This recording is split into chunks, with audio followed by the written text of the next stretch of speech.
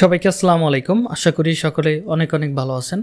আজকে আমি কথা বলতে যাচ্ছি, কীভাবে আপনারা দু হাজার চব্বিশ সালে আপনাদের গিক র্যাঙ্ক করাইতে পারেন। গিক র্যাঙ্ক করানোর অনেকগুলো মেথডের ভিতর সব থেকে কার্যকরী মেথড হলো তিনটা। আমরা এই তিনটার যে কোনো একটা যদি প্রপারলি ফলো করি, তাহলে আই হোপ যে আপনি আপনার গিকটা ফার্স্ট পজিশনে রাখতে পারবেন। এবং এটা কিন্তু বিগত আমি ছয় বছর যাবৎ কাজ করার ফলে এই মার্কেট প্লেসের অ্যালগোরিদমটা কিন্তু আমি ভালোভাবে জানি বিদায়। আমাদের স্টুডেন্টদেরও গিক দেখা যায় এক থেকে পাঁচ নাম্বার পজিশন পর্যন্ত থাকে। সবাই আমার মেথড ফলো করে বিদায়, কিন্তু তাদের গিক এক থেকে পাঁচ নাম্বার পজিশনে থাকে। তো মোটামুটি আমাদের গিক পাবলিশ করার ক্লাসগুলো দুই হাজার তেইশ বা বাইশের দিকে আমরা পাবলিক করতাম। কিন্তু রিসেন্টলি ফাইবারে আপডেট করার পরে আমরা গিক বানানোর কোনো ক্লাস ফাইবারে আপলোড করি না। এটা সম্পূর্ণ আমরা হাইড করে রাখি এবং আমাদের স্টুডেন্টদেরকে আমরা এইট্টি পার্সেন্ট গিক বানিয়ে দিই, বিশ পার্সেন্ট তারা তাদের নিজের মতো করে তৈরি করে। এটা হচ্ছে তাদের ক্রিয়েটিভ খাটানোর একটা জায়গা বা তাদের একটা অভিজ্ঞতা বা স্কিল খাটানোর একটা জায়গা আমি রেখে দিই। তো যাই হোক, অনেক কথা বললাম। তো গিক র্যাঙ্ক করার তিনটা মাধ্যম আছে। প্রথম মাধ্যমটা হচ্ছে ফাইবারে যদি আপনি চান অপটিমাইজেশনের মাধ্যমে আপনি খুব সহজে র্যাঙ্ক করাইতে পারবেন এবং গিক ইমেজ এবং ভিডিওর জন্য এটা খুবই ভালো কাজ করে। এটা দিয়েও আপনি চাইলে র্যাঙ্ক করাতে পারবেন এবং আপনি যদি চান রিভিউর মাধ্যমে র্যাঙ্ক করাইতে, সেটাও করতে পারবেন। তো এটা নিয়ে আমার পূর্বেও, এর আগেও ক্লাস হয়ে গেছে। তারপরেও আজকে আমি আপনাদেরকে এটা নিয়ে বলতেছি, কারণ হচ্ছে অনেকজনে আছে, এগুলা মাথায় নেয় না। কিন্তু যারা আমার ভিডিও দেখে ফলো করে, তারা কাজ করে, তারা কিন্তু হান্ড্রেড পার্সেন্ট সফল হয়। হান্ড্রেড পার্সেন্ট তাদের গিকগুলো র্যাঙ্ক করাতে পারে। এবং সেটা আমার কমেন্ট বক্স খুঁজলে আপনারা দেখতে পারবেন। অনেক মানুষ বলতেছে, ভাই হ্যাঁ আপনার ভিডিও দেখে আমি ফলো করেই আমি গিক র্যাঙ্ক করাইতে পারছি। ঠিক আছে? তো প্রথম যেটা আমি বললাম, সেটা হচ্ছে অপটিমাইজেশন অ্যালগোরিদমটা। এই অপটিমাইজেশন করার সময় অবশ্যই আমাদের একটা জিনিস মাথায় রাখতে হবে, সেটা হচ্ছে আপনি যে কিওয়ার্ডগুলো ব্যবহার করবেন, সেই কিওয়ার্ডগুলো অবশ্যই লো কম্পিটিশন এবং হাই কম্পিটিশন কিওয়ার্ড আপনাকে প্রথমে রিসার্চ করে বের করতে হবে। রিসার্চ করার সিস্টেমগুলো যদি আপনারা চান, এটা নিয়ে আমি বিস্তারিত মানে ফাইবারে কিওয়ার্ড রিসার্চ নিয়ে একটা ক্লাস করতেই পারি বা আপনাদেরকে উপহার দিতেই পারি, যদি আপনারা চান এটার উপর। তো আমি মনে করি, প্রথমে আপনি যদি কিওয়ার্ড রিসার্চটা ভালোভাবে করতে পারেন, তাহলে আপনি অপটিমাইজেশনটা ভালোভাবে করতে পারবেন। যেমন আমি যেটা বলতেছি লো কম্পিটিশন কিওয়ার্ড কোনগুলো ধরবেন? যেগুলো পাঁচ হাজারের নিচে সার্ভিস থাকবে সার্ভিস কম্পিটিশন থাকবে, সেটা ধরবেন লো কম্পিটিশন এবং হাই কম্পিটিশন ধরবেন যেটা পাঁচ হাজারের উপরে। সেটা লাখ হোক বা তার পাঁচ হাজার একটা হোক, সেটা আপনি হাই কম্পিটিশন কিওয়ার্ড আপনি ধরতেই পারেন। আমরা যখন আমাদের মেন কিওয়ার্ডটা মেন কিওয়ার্ডটা আমি যেটা বোঝাতে চাচ্ছি, আপনি ধরেন ইউটিউব প্রমোশন বা ইউটিউব ভিডিও এসিও নিয়ে আপনি কাজ করতে যাবেন, দেখবেন যে ওইখানে আপনার পঞ্চাশ হাজার কম্পিটিশন আপনার আছে। সেখানে আপনি যদি এই কিওয়ার্ড দিয়ে যদি আপনি মেন কিওয়ার্ড ব্যবহার করেন, তাহলে কিন্তু কখনোই আপনি র্যাঙ্ক করাতে পারবেন না। আপনি টার্গেট রাখতে হবে চারটা বা পাঁচটা কিওয়ার্ড নিয়ে কাজ করা। যেমন হতে পারে এক্সাম্পল যদি আমি বলি, ধরেন YouTube video SEO YouTube channel SEO video SEO video optimization video man মানে ইউটিউব চ্যানেল ম্যানেজমেন্ট এই ধরনের যে কিওয়ার্ডগুলো আছে, এগুলো আপনার ডেসক্রিপশনের প্রথম লাইনে ইনক্লুড করা এবং ডেসক্রিপশনের পরের লাইনে প্রথম লাইনে এই কিওয়ার্ডগুলো ভালোভাবে প্লেসমেন্ট করবেন, দ্বিতীয় লাইনে এই কিওয়ার্ডগুলো ভালোভাবে প্লেসমেন্ট করবেন। এই জায়গাগুলোতে কখনোই সংক্ষিপ্ত ব্যবহার করবেন না। কিওয়ার্ডের সংক্ষিপ্ত রূপ ব্যবহার করবেন না। অনেকজনে আছে না ইউটিউব বেশি থাকার কারণে ইউটিউবের জায়গায় ওইখানে তারা লেখে ইউটিউব ড্যাশ বা U D U dot tube অথবা ইউ আন্ডারস্কোর বা ইউ মাইনাস টু এরকম অনেকজনে অনেক ধরনের কথা লেগে থাকে। তো আপনি এগুলো কখনোই ব্যবহার করবেন না। মেন কিওয়ার্ডগুলো ব্যবহার করবেন। যদি আপনি সেটা লিখতে চান, যদি বেশি কিওয়ার্ড হয়ে যায় মানে একটা শব্দ যদি বেশিবার হয়ে যায়, তিনবারের বেশি হয়ে যায়, সেক্ষেত্রে আপনি নিচের থেকে কমাইতে পারেন। প্রথম লাইনগুলোতে কখনোই কমাবেন না। যেখান থেকে লাইন শুরু হবে, যে কোনো ডেসক্রিপশনে সেখানে আপনি কখনোই সংক্ষিপ্ত ব্যবহার করবেন এইটুকু আপনি ফলো করবেন, তাহলে হয়ে যাবে। তো আপনার কিওয়ার্ডগুলো অবশ্যই বিভিন্ন জায়গায় মেন মেন জায়গাগুলোতে প্লেসমেন্ট করতে হবে এবং প্রাইসিংয়ে প্লেসমেন্ট করতে হবে। টাইটেলেও এই কিওয়ার্ডগুলো থাকা খুবই প্রয়োজন। টাইটেলে ওই কিওয়ার্ডগুলো দিবেন। এবার আসেন, এটা যদি আপনি প্রপারলি করতে পারেন এবং ট্যাকেও যদি আপনি ভালোভাবে দিতে পারেন, তাহলে আপনার কি ক্র্যাঙ্ক করবে। এবং এবার যদি আপনার ইমেজটা যদি কোয়ালিটিফুল না হয়, আপনি বুঝবেন কেমনে আপনার ইমেজ কোয়ালিটিফুল হয় নাই। তো এটা বোঝার জন্য যখন একজন মানুষ এখানে কাজ করবে, অবশ্যই আপনার গাইডলাইন লাগবে যে হ্যাঁ ইমেজটা হয়েছে এই ইমেজটা হয় নাই। আপনি কিন্তু নিজে চাইলেও এটা বুঝতে পারবেন না যে, আমারটা এটা হয়েছে কিনা। ধরেন আপনি সার্ভিস দিতেছেন হচ্ছে ইউটিউব মার্কেটিংয়ের উপরে বা ইউটিউব ভিডিও এসিও করবেন। ওইখানে আপনি লিখলেন, আমি ইউটিউব করব ভিডিও আপলোড করব, একটা কিওয়ার্ড লাগাই দিলেন, হুম? অথবা ধরলেন যে আমি ইনস্টাগ্রাম মার্কেটিং করব বা ধরেন ইউটিউবের আমি ই তৈরি করে দিব ব্যানার তৈরি করে দিব, এরকম অনেক সার্ভিস থাকে। মানে মানে সেম থাকে, কিন্তু মেন পয়েন্টগুলো আলাদা হয়ে যায়।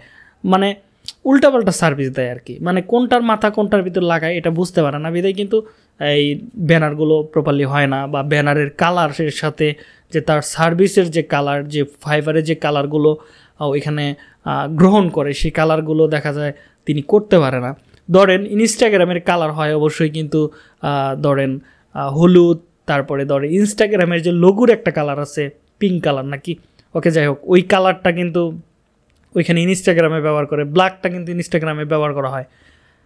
এবার যদি আপনি যা যদি দেন লাল লাল ইনস্টাগ্রামের ব্যানার, ধরেন সাদা ইনস্টাগ্রামের ব্যানার, এরকম অনেক ব্যানার আছে যেটা লোগোর সাথে ইনস্টাগ্রামের যে মেন লোগোটা আছে, ওই লোগোর সাথে টোটালি যায় না। ডিফারেন্ট একটা লোগোর কালার নিয়ে আসছে বা ডিফারেন্ট একটা কালার নিয়ে আসছে, যেটা আসলে ওই কালারের সাথে আসলে সামঞ্জস্যপূর্ণ না। এরকম অনেক মানুষ মিসিং করে ব্যানার বানাইতে বা ব্যানারের কালার কমিউনিকেশন ঠিক করতে পারে না ভালোভাবে।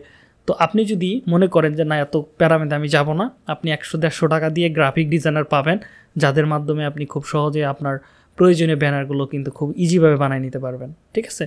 আপনি ব্যানারগুলো বানিয়ে নিতে পারেন। মানে আপনি একটা গিক থেকে আপনি পঞ্চাশ, ষাট লাখ টাকা কামাবেন বা দশ, বিশ লাখ টাকা কামাবেন, সেখানে দুই, তিনশো টাকার একটা ব্যানারে খরচ করবেন না। এটা কেমন কথা না? খরচ করেন একটু, সমস্যা কি? আপনার এখানে লস হবে না। আপনি একটা প্রজেক্ট পাইলেই দেখা যাবে যে বা একটা অর্ডার করলেই দেখা যাবে আপনার সব কিছু উঠে আসছে। ঠিক আছে? এটা অবশ্যই খেয়াল রেখে কাজগুলো করবেন এবং ভিডিও যদি দিতে পারেন, যেমন আমি হেড টকিং ভিডিওগুলো করতেছি বা সামনাসামনি আপনার সামনাসামনি কথা বলতেছি, এরকম টাইপের যদি আপনি ইংলিশে ভিডিও বানায় বলতে পারেন যে আমি এই সার্ভিসগুলো দিব, তাহলে তো আরও বেটার হয়। তাহলে আপনি, আপনার গিকের ভ্যালুটা আরও বেড়ে যাবে। ঠিক আছে? আপনি চাইলে এটা চল্লিশ পার্সেন্ট ষাট পার্সেন্ট করে আপনার এঙ্গেজমেন্ট বাড়াইতে সাহায্য করবে। আপনি এটা কাজে লাগাইতে পারেন হ্যাঁ? এটা চাইলে আপনি কাজে লাগাতে পারেন। এবার আসেন হচ্ছে রিভিউ সিস্টেম রিভিউ সিস্টেমটা যদি আপনি ফলো করেন রিভিউ ছাড়া কিন্তু কখনোই আপনার গিক র্যাঙ্কিংয়ে আসে না। নতুনদের যেটা বলতেছি রিভিউর মাধ্যমে কিন্তু আপনি র্যাঙ্ক করাইতে পারেন। অবশ্যই রিভিউটা সঠিক ক্লায়েন্ট হতে হবে, সঠিক লোকেশন থেকে হতে হবে।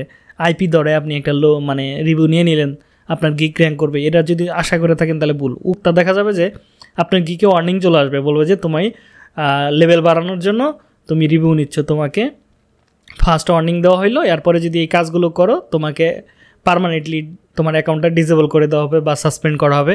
এরকম কথা বলে থাকে। তো অবশ্যই রিভিউ নেওয়ার সময় অবশ্যই খেয়াল রেখে রিভিউ নিতে হবে। ভালো পার্সন থেকে নিতে হবে। এখন বলতে পারেন যে, ভাই রিভিউ কোথা থেকে নিব? আমরা তো জানি না। যদি আপনার খুবই কষ্ট হয়, আপনি চাইলে যেখান থেকে নিতে পারেন, সেটা রিয়েল আইপি থেকে। যদি রিয়েল আইপি থেকে না দিতে পারে, তাহলে ওই যে আমাদের লাইফ ট্যাপ এজেন্সি আছে এবং আমার পেজে যাও যদি মেসেজ করেন, তারা আমাদের সাপোর্ট টিম আপনাকে লিঙ্ক দিয়ে দিবে। তাদের কাছ থেকে চাইলে আপনি রিভিউ নিতে পারেন। যদি আপনার পরিচিত থাকে, তাদের কাছ থেকেও নিতে পারেন। অথবা আপনার যদি বাইরে কোনো লোক থাকে, ভাই, বাদার, আত্মীয় স্বজন, বাবা, মা, যাই থাকুক না কেন, যদি থাকে, তাদের মাধ্যমে কিন্তু আপনি চাইলে রিভিউটা নিতে পারেন। সেটা আরও ভালো হয়। ঠিক আছে? সেটা ইন্ডিয়ান রিভিউ যদি হয় তাও বেটার কারণ সেটা রিয়েল আইপি থেকে হইলে আপনার জন্য ভালো কাজে দিবে। ঠিক আছে? এখন আপনার মনে প্রশ্ন থাকতে পারবে ইন্ডিয়া রিভিউ হলে হবে? সমস্যা নাই। আপনি যে কোনো রিভিউ নিয়ে পাঁচটা রিভিউ নেন। পাঁচটা রিভিউ নিলে আপনার অ্যাকাউন্ট ঘুরে যাবে। আগে যেমন দুইটা, তিনটা রিভিউ নিলে কাজে লাগতো, এখন আসলে পাঁচটা নিচে রিভিউ নিলে কাজে লাগে। পাঁচটার উপরে রিভিউ নিতে পারলে আরও বেটার ঠিক আছে? এখন আগের দিন বাগে খাইছে তো এখন আপনাকে সব কিছুই মেনটেন করতে হবে। আপনি যদি মনে করেন যে আমি তিনটাই ফলো করব লং টাইম রাখব আপনার গিকটা যেমন আমি বিগত এক দুই বছর যাবৎ আমার গিকটা প্রথম পৃষ্ঠা থেকে সরে নেই আল্লাহ রহমতে। আমি জানি, অনেক কিছুই জানি আল্লাহর রহমতে আপনাদের দোয়ায়। তো আমার গিকটা কিন্তু কখনোই ফাইবার থেকে একে মানে এক, দুই, তিন, এই পজিশন থেকে কখনোই আমার গিকটা পিছায় নাই, ঠিক আছে? এবার যদি এখানে অনেকগুলো জিনিস কাজ কাজ করে, যেমন আপনি যদি সেলার প্লাস ব্যবহার করেন, তাহলে আপনার গিক সহজে নামানো এত সহজ না, ঠিক আছে? সেলার প্লাস কিন্তু অনেক উপকারে আসে। সেলার প্লাস দিয়ে কিন্তু আপনার যে অর্ডার কমপ্লিশন রেট এই যে রেসপন্স রেট এগুলো প্রচুর হেল্প করে সেলার প্লাস। আপনার নেগেটিভগুলো ওইখানে সরায় ফেলে ওরা। শুধু পজিটিভগুলো ধরে রাখার ট্রাই করে ওরা। এটাতে প্রচুর হেল্প করে। এতে দেখা যায় সেলার প্লাসের অনেক উপকারিতা আছে। তো এটা নিয়ে পরবর্তীতে আর একটা ভিডিও বানাবো যদি আপনারা চান। আপনি যদি তিনটাই ভালো করেন, তাহলে আরও বেটার তাহলে আপনি তিনটা দিয়ে র্যাঙ্ক করাইতে পারেন। তিনটা যে কোনো তিনটা। আপনি যদি মনে করেন একটা আপনি পারবেন, একটা দিয়েও র্যাঙ্ক করেন। নতুন অবস্থায় যদি মনে করেন একটাতে করব, করতে পারেন। ভবিষ্যতে আপনি তিনটায় ব্যবহার করবেন। আর অবশ্যই তিন মাস পর পর যদি আপনার গিক র্যাঙ্কিংয়ে থাকে, তাহলে কোনো প্রকার এডিটিং করার দরকার নাই। পস্ত করবেনই না। কখনো মানে র্যাঙ্কিং আলা গিক কখনোই পজ করা যাবে না। যদি র্যাঙ্ক হারায় ফেলে, যদি কোনো পেজে খুঁজে না পান সেক্ষেত্রে পস করতে পারেন। যদি আপনার এডিট করার দরকার পড়ে বা আপনি মনে করেন যে গিকের ইমেজটা আপডেট করলে আমার জন্য বেটার হয়, তাহলে আপডেট করতে পারেন। সেটা পস না করেই আপনি লাইভ এডিটিং করবেন। এতে আপনার গিকটা আরও দ্রুত র্যাঙ্ক করবে। কিন্তু অনেকে আছে যারা পজ করে, সেক্ষেত্রে লিস্টিংয়ে থেকে হারায় যায়। পরে আরও গিক কখনোই র্যাঙ্ক করাইতে পারে না। ঠিক আছে? এটা করলেও আরও ছয় মাস, এক বছর লাগে। তো আমাদের নতুনদের অবশ্যই দুই তিন মাস পর পর গিকের ইমেজ চেঞ্জ করা খুবই প্রয়োজন। তো আমি মনে করি এটা করতে পারেন। তো আমি যে তিনটা মেথড বললাম, এই তিনটা মেথড দিয়ে আপনি আশা করি যে আপনার গিকগুলো র্যাঙ্ক করাতে পারবেন। এবং আপনি ক্লাসটা ধৈর্য সহকারে দেখছেন এবং বুঝতে পারছেন কী কী মাধ্যমে গিক র্যাঙ্ক করানো যায়। আজকের মতো তাহলে আমি বিদায় নিচ্ছি, দেখা হবে নেক্সট ক্লাসে ততক্ষণ পর্যন্ত ভালো থাকুন, সুস্থ থাকুন। আল্লাহ হাফেজ।